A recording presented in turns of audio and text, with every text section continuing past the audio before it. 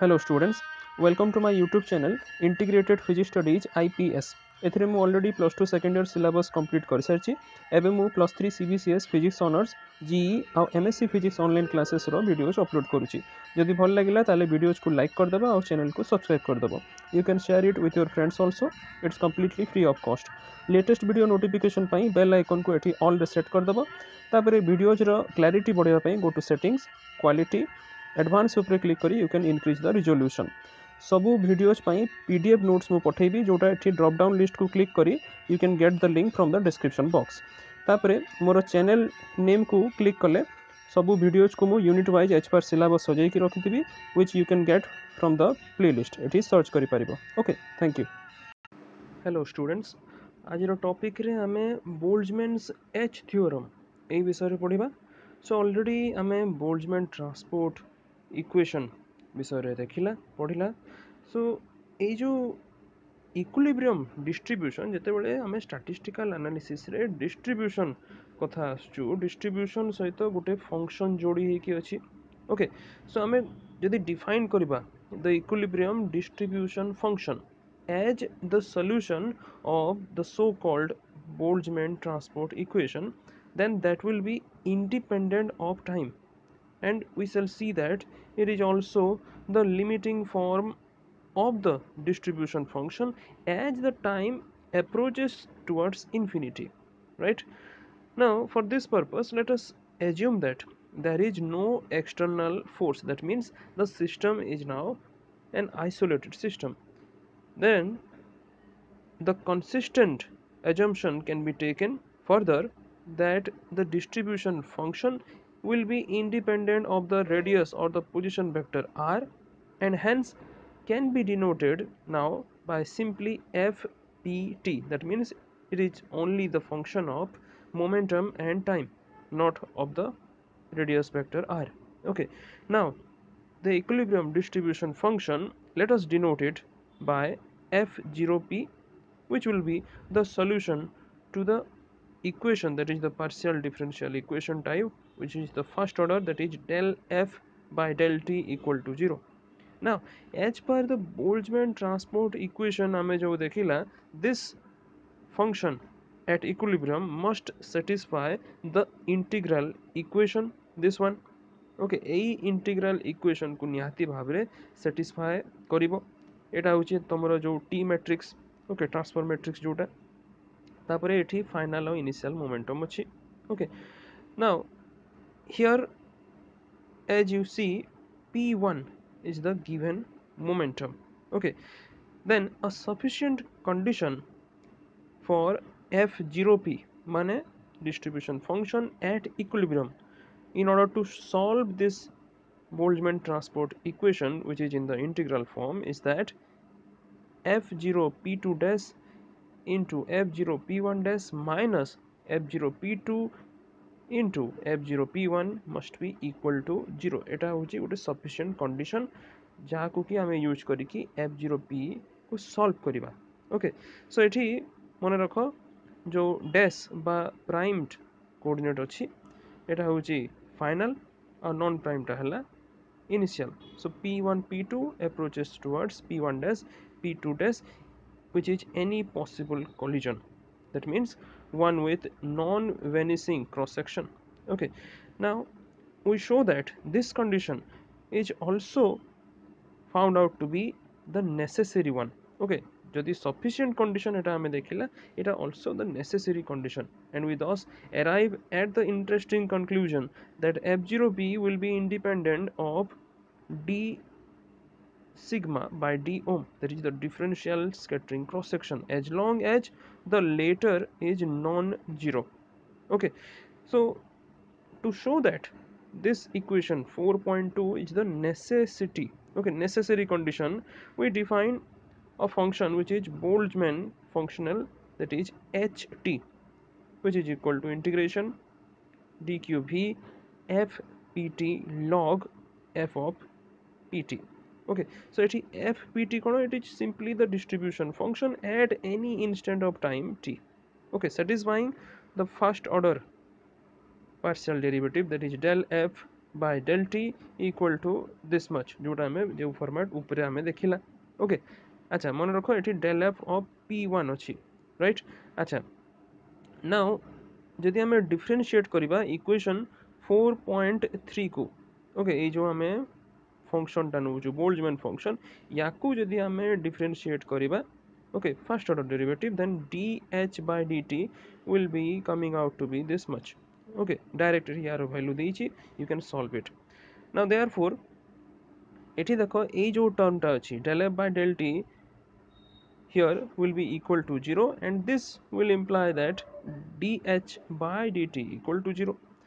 and it means that a necessary condition for del f by del t equal to 0 is nothing but dh by dt equal to 0 now we show that the statement which is dh by dt equal to 0 is same as equation 4.2 जोटा हमें ऊपर देखुला okay so it will now follow that 4.2 is nothing but the necessary condition जोटा कि हमें केवल sufficient बोली कि कहूला okay for the solution of the Boltzmann transport equation. So let us now proceed towards the proof of this theorem which is called as the Boltzmann H theorem. Okay, so here the function f satisfies the Boltzmann transport equation তাহলে আমি লিখি পারিবা dh by dt should be less than or equal to 0 এটা হচ্ছে এই থিওরমর statement now we go towards the proof so ଆମେ କ'ଣ କରିବା equation four point four ଯେଉଁ ଥିଲା ତାକୁ ସବଷ୍ଟିଚ୍ୟୁଟ୍ କରିବା into the integrand of equation four point five okay so ଆଉ ଥରେ ଦେଖିଦେବା equation four point four this one ଏଇ ଇକ୍ୱେସନ୍ର ଭ୍ୟାଲୁଟା ଯାହା ଥିଲା ୟାକୁ ଆମେ ୟୁଜ୍ କରିବା କେଉଁଠି ଏଇ ଇକ୍ୱେସନ୍ ଫୋର୍ ପଏଣ୍ଟ ଫାଇଭ୍ରେ ଏଇ ଜାଗାରେ okay so after putting this value we can write the value of dh by dt like this right? Now we do one thing. We interchange the respective momentum p1 and p2 in this integrand so that it will leave the integral invariant. Because why so? Because the t matrix tfi is invariant under such interchange. এটা already আমি Boltzmann transport equation আর তা পূর্বরু তোমার যে binary collision আমি দেখি সারিছু So, making this change of variables of integration and thereby taking one half of the sum মনে রাখো one half of the sum of the new expression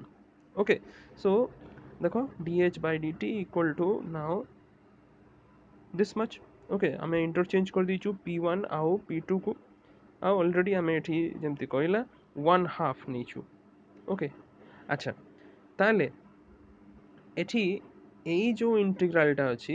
this integral will be invariant under interchange of p1 p2 and p1 dash p2 dash. As i said the non-primed coordinates are before collision and the primed coordinates are after collision. Okay so because why it is invariant? Because every collision there is an inverse collision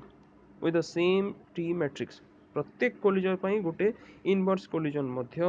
having the same T the same t matrix hence we can write ଏବେ interchange କରିକି ଯଦି ଆମେ ଲେଖିବା ଯେହେତୁ inverse ଅଛି ତେଣୁ ଆମେ put କରିବାକୁ ପଡ଼ିବ ଏଠି minus symbol